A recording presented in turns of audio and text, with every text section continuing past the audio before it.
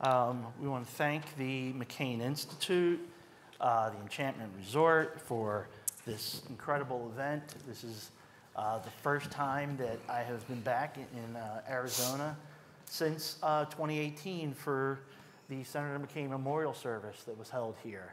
Um, I'm, if you can't see these socks, these are taco socks, and um, I has uh, been in the middle of a vacation, and we've got the news, and I got sent here on the fly, and I packed every single thing for that trip, but socks. so I woke up the morning of the memorial service at the Biltmore and walked into the gift shop of the, uh, of the Biltmore, and the only pair of socks they had were these taco socks. And so I figured, well, they're still here. This is, this is a nice memory. um, all right, well, listen, uh, we are here to talk about the law of the sea of China. It's, uh, it's going to have some echoes from the morning, uh, the, the morning bit on deterrence of uh, China that Senator Kelly, Congressman Boyle, Jon Finer were here for. We've got two great people here to talk. Uh, Admiral Linda Fagan, the 27th Commandant of the U.S. Coast Guard. Uh, she is the first female military service chief of any of the uh, military mm-hmm. units. Um, uh, most specifically for what our topic is, at one point she ran the Pacific area for the Coast Guard.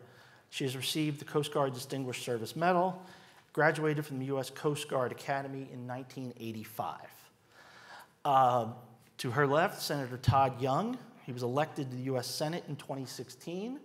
Um, incidentally, I met him uh, for really the first time on that campaign, and the first event stop was at a Boston Scientific medical device manufacturer outside Bloomington, Indiana, and it was all about chips and manufacturing, and uh, I should have known where his career was going to go. We'll get to, we'll get to some of that. He is the, co, uh, the co-author of the CHIPS Act. Um, he was elected in that year in 2016. He was elected to the U.S. House in 2010. Uh, he grew up in Indiana. After graduating high school in 1990, he enlisted in the Navy first. And it was only a year later that he got his appointment to the Naval Academy. And uh, upon graduating there, he was commissioned in the Marine Corps, did intel service, was uh, honorably discharged in 2000. I got all that right, right? You did. All yeah, right. Thanks. Yeah, when it comes job. to the military and these titles, these are very important. Now, the taco socks haven't slowed you down. all right. Admiral Fagan, yep.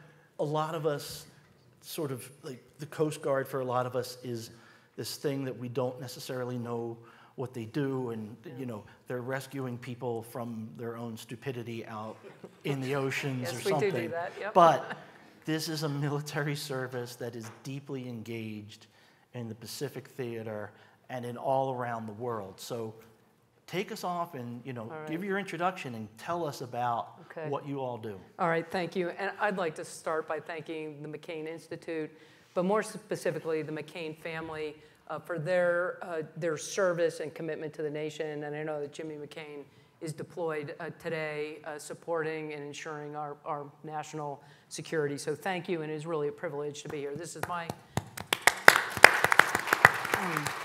my, my first time to Sedona, and um, my family was like, there's not much water in Sedona, Arizona, so why are you going as the head of the Coast Guard? And so last night at dinner, it became apparent as I, I was speaking with a couple, couple folks at the table that it probably is important to start with just what is this thing that we call the United States Coast Guard. We are one of the six branches of the US military at all times. At all times, we're a military service, a law enforcement agency, a regulatory agency, a maritime first response agency. And so that does include search and rescue. So should you find yourself in trouble at sea, we will be there to help you from your predicament. We're some of the world's, uh, world's best. But as a military agency, a law enforcement agency, and a regulatory agency, it brings a unique set of authorities that create an incredibly nimble and flexible organization that allows us to exercise that authority in a way that is particularly conducive to our national security. I should highlight as well that we are not one of the armed services in the Department of Defense. I, my, my boss is the, the Secretary of Homeland Security, and so we work in the Department of Homeland uh, Security. And, and that is exactly the right department where the Coast Guard belongs. It's well suited for the types of work that we do both in the, in the homeland and abroad.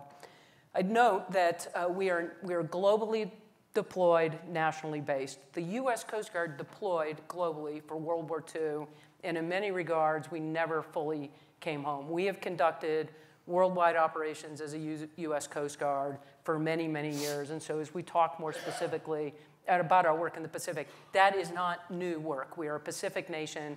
We've been in the Pacific as a nation, and the US Coast Guard has been, been in the Pacific doing that work.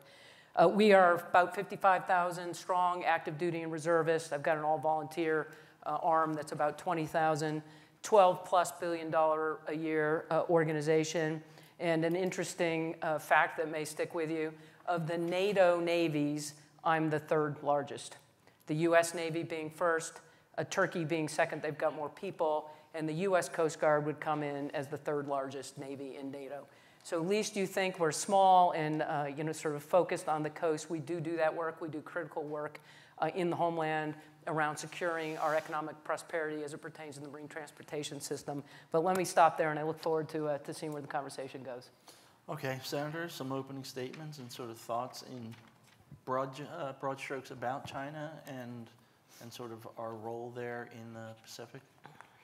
Um, thank you so much, Paul, and, and uh, so great to be with the Admiral, uh, who's doing an exceptional job and, and, leading our fine Coast Guard. I want to thank the McCain Institute. Uh, this is my first time ever at this forum, and uh, in addition to the natural beauty of this, uh, this place, um, I'm just really encouraged by the thoughtful conversation at a time when there's not enough thoughtful conversation occurring in our country. Um, I'm grateful to the McCain family for continuing uh, to uh, carry the, the late Senator McCain's legacy forward in, in this incredibly meaningful way. Um, John McCain came to visit me in 2016 when I was uh, running for the Senate. Uh, it was late in that election cycle. It was unclear whether we were going to win, but I was a Naval Academy graduate, and that's important to him. And uh, despite the fact that his own reelection was still not a certainty. He took time away from his own election to support me, bring some visibility to the campaign, say nice words, help us raise some resources. Um, that's, that's the sort of guy he, he was. And, and so that gesture uh, meant so much to me. Serving with uh, the late senator is, is something I'll always be proud of. But when I think of John McCain, I want to share this for those who were close with Senator McCain, members of his family. Um, I think of as I was, I was heading towards that reelection, he'd come and appeared. I guess I passed the test because um, I started to get phone calls from people I didn't know, whose names I didn't know, encouraging me to think about joining the Armed Services Committee uh, so that I could be on Senator McCain's committee, right? Um, I got one call, and I was polite and took it, and then I got another call, and I probably had two dozen calls uh, before the election to uh, encourage me to think uh, about this and commit to uh, trying to be on the Armed Services Committee. Um, he was such a determined man. Uh, this lobbying campaign is ultimately something I, I, I told him. I had uh, a positive experience generally in the military. I was very proud of my military service. But I had some other interests, and it plays right into where we're headed with this conversation. Um, I had some private sector experience, trained in economics after I let, left the Naval Academy, after I left the Marine Corps, uh, in which I had some collaboration with the Coast Guard in, in various operational capacities. But um, so I, I, was interested in economics. I was interested in uh, the diplomatic enterprise, having worked for uh, my own home state senator, Dick Lugar, who chaired the Foreign Relations Committee years ago. And I, have tried to identify committees that I feel like are being underutilized uh, as we, we, had new competitors coming uh, into the fore. I think the Commerce Committee, which is where we oversee uh, the United States Coast Guard, uh, is one of those committees. Others that I sit on the Finance Committee with our tax code, with our trade prerogatives, uh, I think are underutilized in responding to the threat of the Chinese Communist Party. And uh, ever since I got into the Senate, I've, I've, tried to focus on some of these issues. In short, we'll be talking today about uh, the, the law of the sea. China is seeking, not just as it relates to sea power, but in other domains as well, they are seeking to undermine the rules based order that has benefited uh, the United States of America and humanity for generations. They do it every day. And as it relates to the sea, that, that generally means uh, constraining freedom of navigation. Uh, it, it, means harassing uh, vessels, uh, whether they're American or, or, in particular, other countries. Philippines uh, has been in the news over the last week, and you heard about that earlier on, on, on Senator Kelly's panel. Um, but harassing vessels that are, are trying to utilize their patches of the sea uh, to extract natural resources, whether they're fish or mineral or, or, or, what have you. And so, I mean, this is an area that I don't think a whole lot of uh, Americans have a great appreciation of, but it's really important, consistent with our grand strategy as a country, that we balance China and the Pacific, and that we continue to enable ourselves and others to trade and to prevent our largest economy competitor and adversary, China, from weaponizing our mutual dependency on markets and preying on us and other nations. That is what this conversation, in short, is all about when we start sure. talking about why law of the sea is important and in what context should we be considering. Um, Admiral Fagan, can you describe some of these events? The, the, the earlier panel was talking in sort of generics about essentially firing on Philippine yeah. Filipino ships. Like, yes. what are some of the specifics that we are seeing here, and what role has the Coast Guard been able to play in this region, in this theater, um, to try? Is it to deter, protect? What are some of the yeah? The and so the earlier conversations was specifically around Chinese Coast Guard, uh, you know, trying to prevent Philippine Coast Guard from resupplying at the, the second Thomas Shoals. It's been, you know, it's, it's harassing, it's bullying. At the end of the day, it is an attempt to prevent a nation from ensuring their own sovereignty. And there are some competing uh, claims around sovereignty with that particular uh, shoal. The Coast Guard's value proposition in this space, and we talk a lot as a nation about you know, the competitive space, gray zone uh, conflict, short, short of major conflict, it is exactly suited and situated for the US Coast Guard and the type of work that we do in the region. We are very good at meeting a nation, pick a small island nation in the Pacific. We meet them where they are with what they may need. We come, we offer uh, a means to enforce their own sovereignty, create capability and capacity uh, in their exclusive economic zones. So, for example, the Coast Guard cutter Harriet Lane, it's a 270 foot cutter that had previously been home ported on the east coast of the United States. In December, that home port was changed to Honolulu, and she's just returned from a 90 plus day patrol in the South Pacific, Fiji, Vanuatu, Samoa, American Samoa, where we uh, exercised, one, several of our 12 bilateral shiprider agreements with nations in the area. And so the ship arrives, the US Coast Guard ship, and we bring sh- shipriders, people from that nation, who have the authority to enforce that nation's fisheries laws and regulation.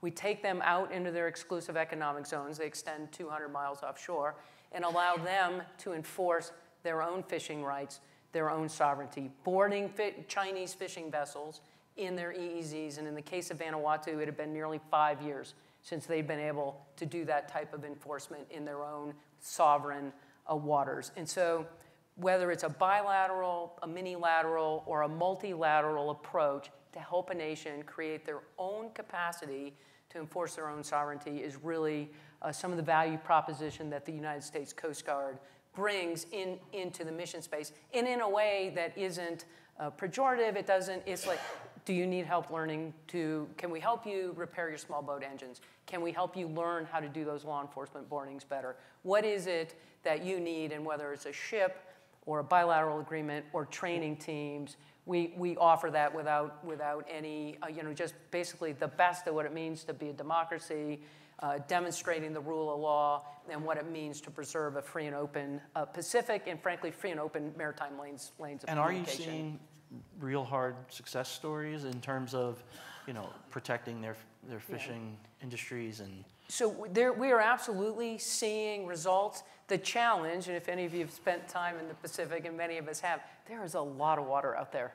And uh, there's just not, you know, creating capacity. There's, there's more demand for the U.S. Coast Guard, more demand for ally and partner access than any of the allies and partners or the U.S. Coast Guard can create uh, capacity for. And so uh, creating space too for a broad, as I said, multilateral, minilateral conversation so that we all, as allies and partners with, with focus and shared interests, can, can create that, that opportunity. And we do, we do see results. Uh, I know we're talking about the Pacific, but I will uh, talk specifically about countering the Chinese squid fleet uh, off of the Galapagos. So this was a couple years ago. Uh, the uh, Ecuadorians asked for assistance to counter the squid fleet. U.S. Coast Guard ship was redirected, uh, sailed in the direction of the Chinese squid fleet, and they, and they moved off out of uh, the exclusive economic zone of Ecuador. So presence and partnership absolutely creates impact and capacity. Wow, Ecuador. Uh, Senator, when you are traveling uh, into, in this region or meeting uh, foreign delegations coming to Washington, you know, what are they telling you about these issues and what are, you know, what, what are the steps that you, they want from Washington, from Congress? I'm hearing a lot about these issues, and over the last year or so, I've, I've sort of dedicated myself uh, to traveling regionally across the Indo Pacific, and, and uh, everywhere I head, uh, there's an emphasis from our uh, counterparties on the need to heighten and uh, maintain. Uh, at, at, at uh, the most basic level, our collaboration uh, militarily, but also as it relates to our Coast Guard and the maritime enforcement mission and building partner capacity, something the Coast Guard does very well because there is uh, a lot of water. Uh, there's, there's a very big ocean across the uh, Indo Pacific. We don't have enough vessels, the United States of America, working with our, our closest allies.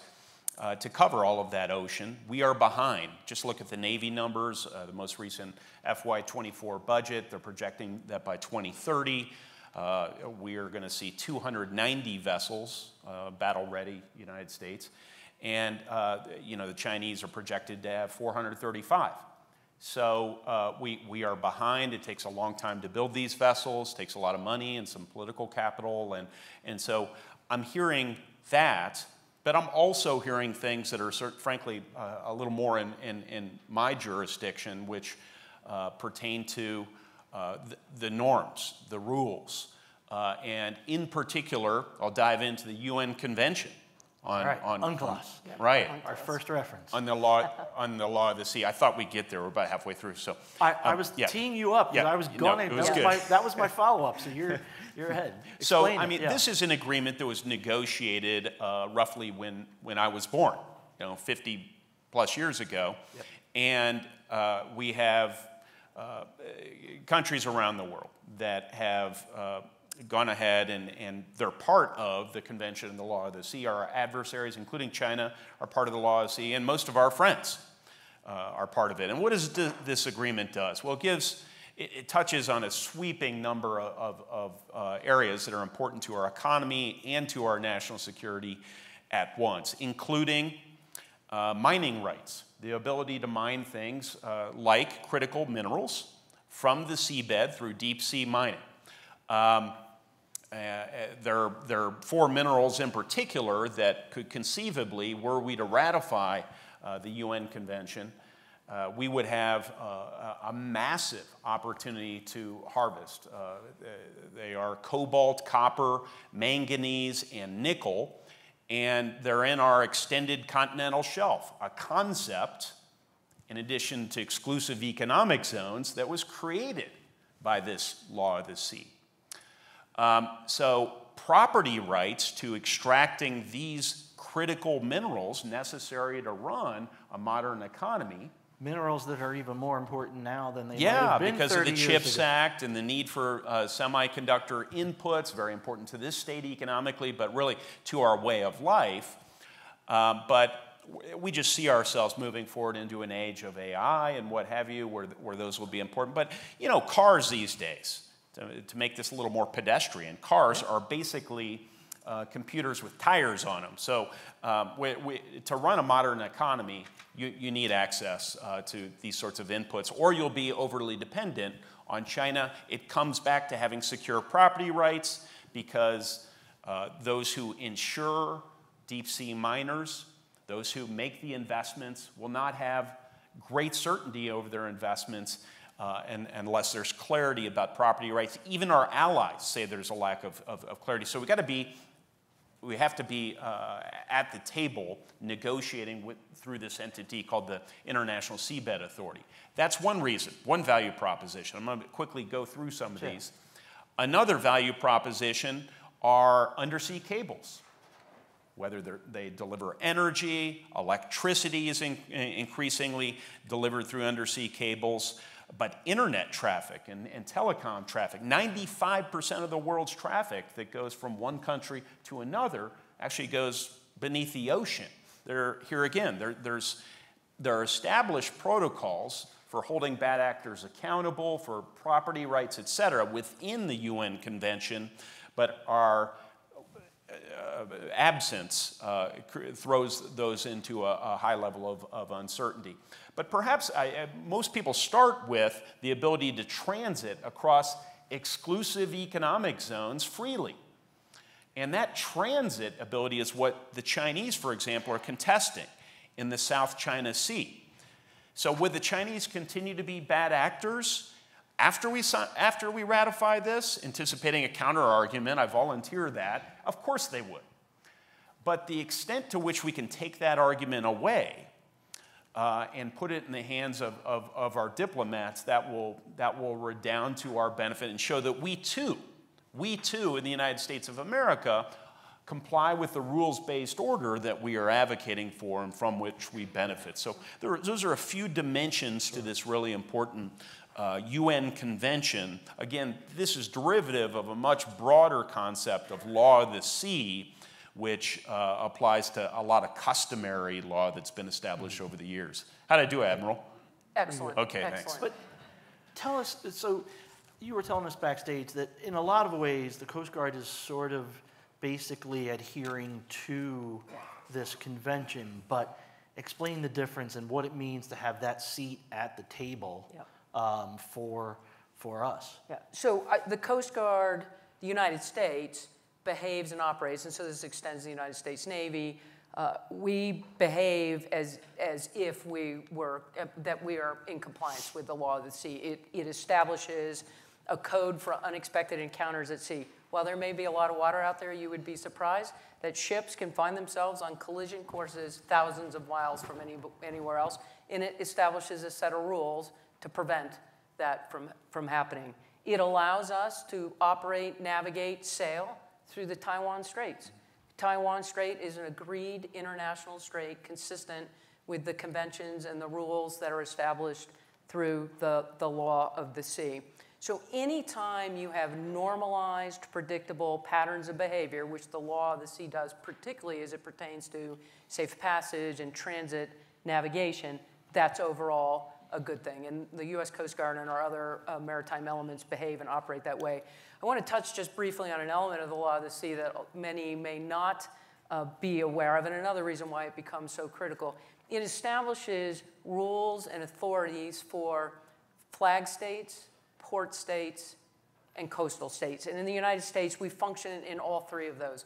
We have a flag state responsibility, the U.S. Coast Guard executes. We inspect our ships, we flag ships, we license and uh, ensure the professional, merit, professional credentials of our U.S. mariners as a flag state.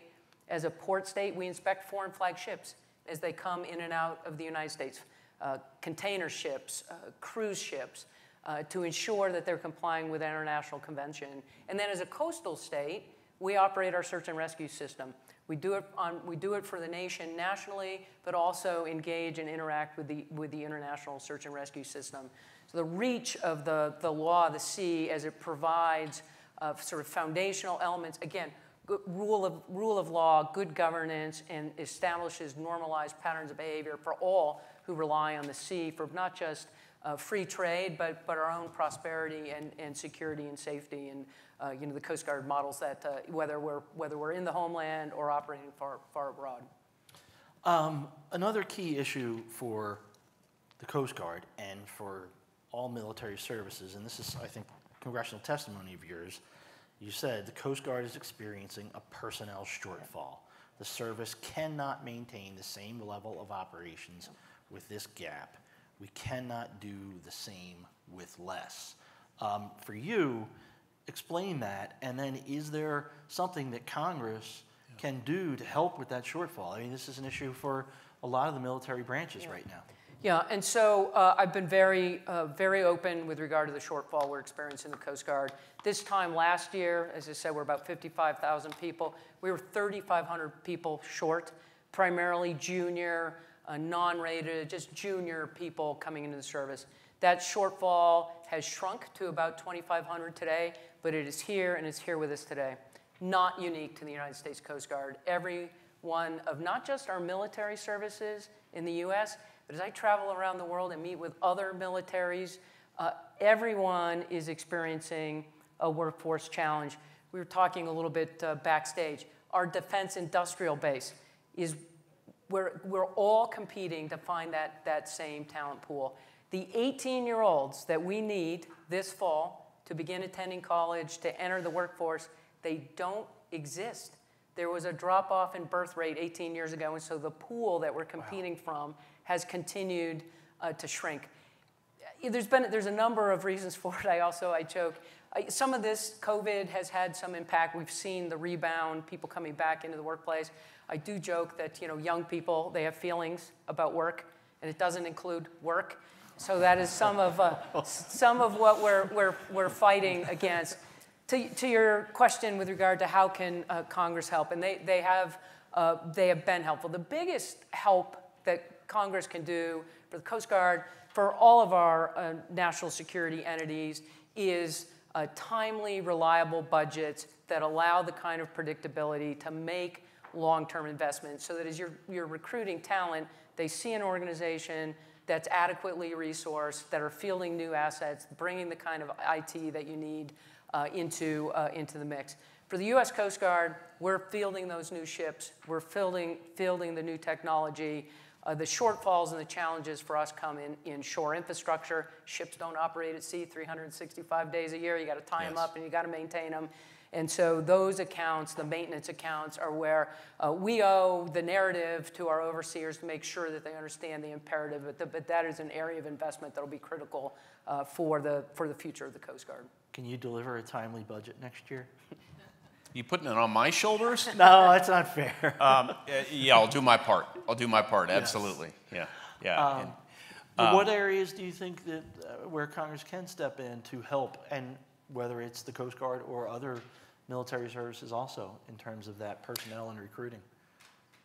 Well, I've uh, actually the admiral and and uh, her Coast Guard team is going to be providing me uh, a, a, study as we approach uh, the end of the year, as it relates particularly to the uh, Western Pacific, if there are additional things that they need, whether in terms of, of personnel investments, perhaps it would be recruiting uh, uh, assistance in some form or fashion, but more importantly, in terms of just basic infrastructure and platforms and, and uh, the ability to scale up the, um, the technical assistance they provide to other Coast Guards around the world, uh, I'm at the ready to be of assistance because I feel like the Coast Guard has, for a number of years, having studied this a bit, I mean, it's, it's, it's a growth stock within uh, the United States government portfolio, uh, a very high tooth to tail ratio, and Unlike some of the investments with DoD, I actually favor, favor more uh, defense spending. I already established that, especially when it relates to naval platforms. But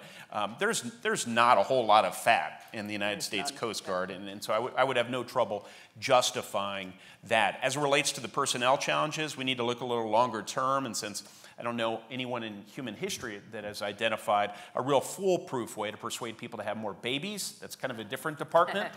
um, I, I, I, think legal immigration reform uh, is absolutely something that we're going to have to be thinking more about as, as, as a country. It's a macro response to mm-hmm. sort of okay. uh, applied to this uh, issue. I will say, as it relates to the law of the sea, I, I want to get this out there. These concerns aren't abstract legal concerns. This is a live fire exercise.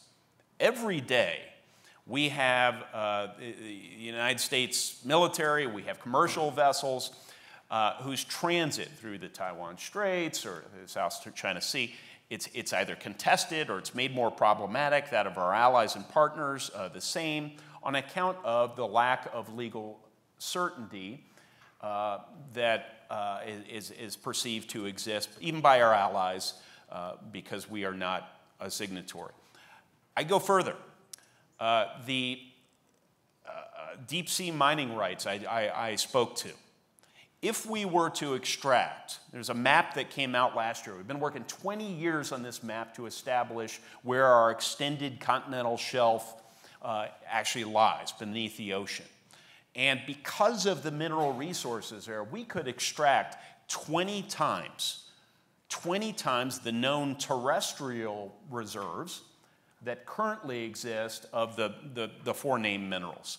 So, I mean, that's pretty powerful. Next year, permitting opens up. So, other nation, national uh, based countries could be applying for our minerals uh, if, if we don't move, hopefully, this Congress and get this done. Looking at the telecom issue and the, and the subsea cable issue, uh, we, we saw the Russians uh, who, have, uh, uh, who allegedly uh, sabotaged the, the, the, pipeline you know, off, off, the European coast. They've had some other activities that we haven't been able to nail down. Uh, but it looks like they could be messing with some of these telecoms. Uh, but, but we lack the legal basis to call them uh, in, out in a way we should.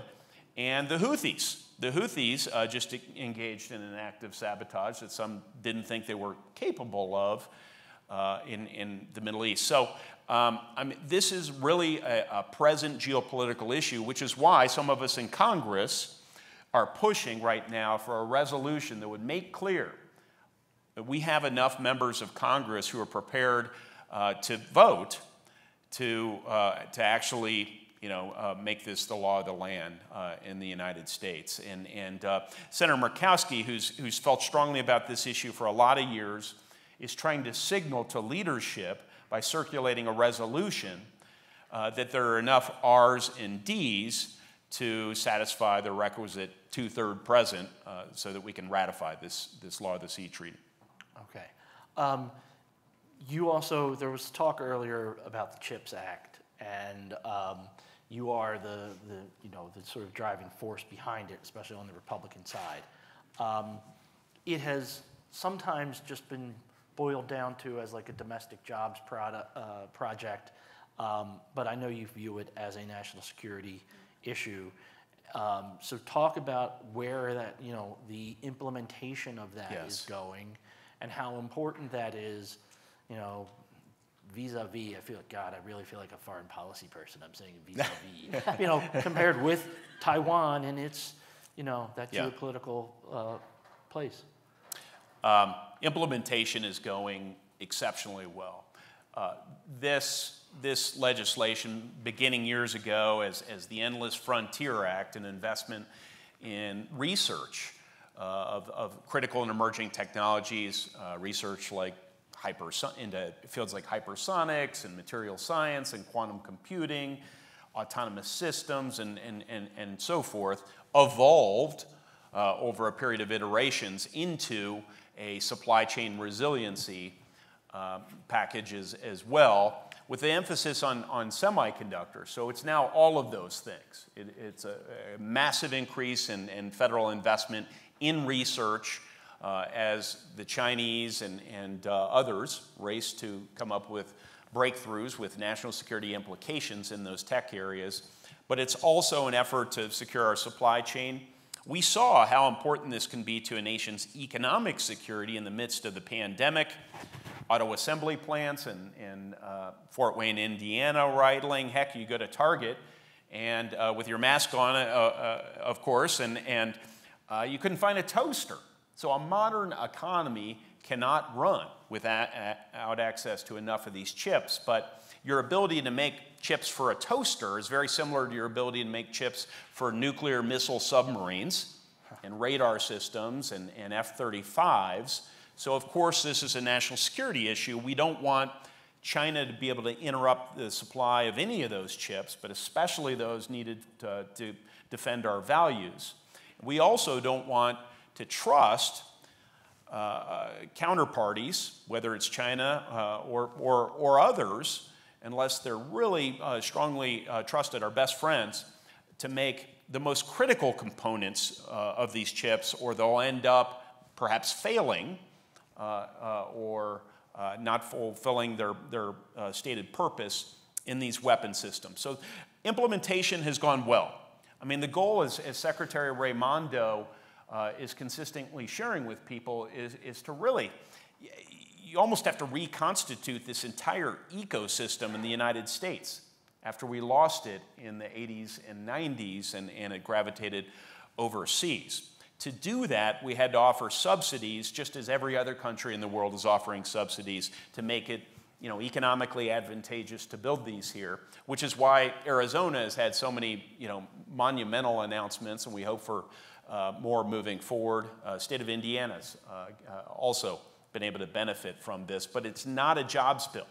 That is, that is a happy uh, byproduct of a national security initiative to make our economy more resilient and to ensure that we invest in our critical semiconductors uh, and, and, that those have fidelity once uh, sure. we use them for national security purposes. Sure. Uh, do you want to weigh in on that? And then I kind of want you each to, at the end here, sort of answer in a quick form of like, what's your biggest worry or fear about that region? So I, am not, I'm not going to touch on the chips. I agree completely. I'm going to go back to the law of the sea and its criticality. So we are not in a position as a nation to file a claim for our extended outer continental shelf, and this is as it pertains particularly to the outer continental shelf off of Alaska. We're an Arctic nation in addition to being a Pacific nation and an Atlantic nation, and not having a seat at the table uh, diminishes our ability to assert our own, uh, our own sovereignty. Um, with regard to just sort of broadly and kind of in reflection, what I want to leave you with is there is no better return on investment for our national security and economic prosperity than the United States Coast Guard. We're a small force, but we are a nimble force that creates opportunity and partnership capacity in a way that the US Navy cannot. And I love the US Navy, but their mission is very different from ours. And so uh, I don't want you to take away that the United States Coast Guard is just focused on our coast. We do that. We do a lot of critical uh, work there, but our work is global, it's international. We are a partner of choice. There's a resounding cry for the kinds of uh, skill, authority, capacity that the United States Coast Guard brings to not just other Coast Guards, but other navies. I would argue 75% of the world's navies actually are functioning as a Coast Guard. And so don't draw a bright line between the US Coast Guard and other, uh, other navies. We are a unique instrument of national power and national authority, and I'm excited to be, uh, be, sure. be looking at what the opportunity in the futures are. Closing thought, and also yeah. is there... Closing thought, what a privilege and, to be here with all of you, uh, and what a privilege to be here with Admiral Fagan, who's just doing a great job uh, leading the Coast Guard. Um, I will sort of end on a macro thought. I think yeah. I mentioned earlier America's sort of grand strategy, which for generations has in, in, involved two key pillars. First, we want to make sure that we have uh, on each side of the Eurasian supercontinent uh, that we are sufficiently balancing uh, any other competitors, any other adversaries that may, may seek to gain dominance in those areas, so in, in Europe and in Asia. I feel like we're appropriately focused uh, on that as a country. Um, the thing I'm, I, and, and, we need to invest more in the military and the other, uh, you know, critical investments that we mentioned earlier.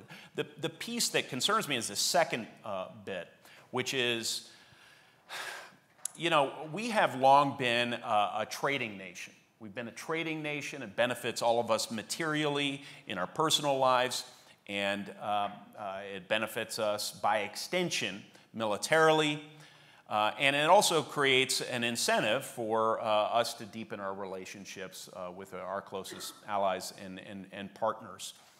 Um, we are withdrawing from trade agreements. We haven't passed a new free trade agreement in, in, in years, so that uh, undermines those incentives I just talked about, and it will impact our ability uh, to, to grow and therefore uh, to sustain uh, the military wherewithal to defend our values. All the while, China and others are, are stealing market share and establishing very close relationships. Uh, so that's the biggest piece to me. I, on, a, on, a, subset of, of our geoeconomics, uh, dealing with the uh, uh, weaponization of markets and the predatory nature of the Chinese state capitalist system, I think we are there again appropriately attentive, but we need to get back into the trade game for the long term. That's my biggest concern. All right. Yeah. Well, listen, everybody, thank you very much.